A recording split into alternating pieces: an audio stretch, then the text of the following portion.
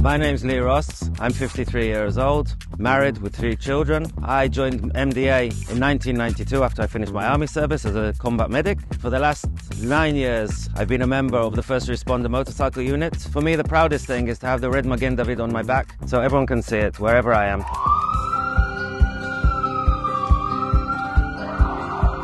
On the 7th of October, we were the first to respond. I received a phone call to kit up and drive down south because I was assigned to a special mission on the Unimog ALS ambulance. It's a special ambulance that is capable of carrying four injured people at the same time. And for the next 61 days, that was our mission to help people, save people's lives.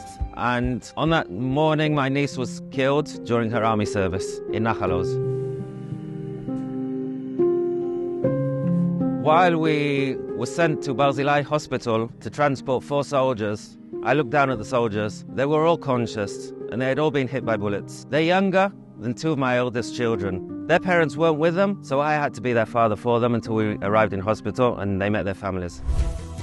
I'm very proud to be one of 30,000 volunteers in Magen David Adom, along with 3,000 workers, 1,400 ambulances, 550 motorcycles, and we're deployed all over Israel, from north to south. Jewish, Muslim, Christian, male, female, religious and unreligious people, we all have the same cause to save as many lives as possible.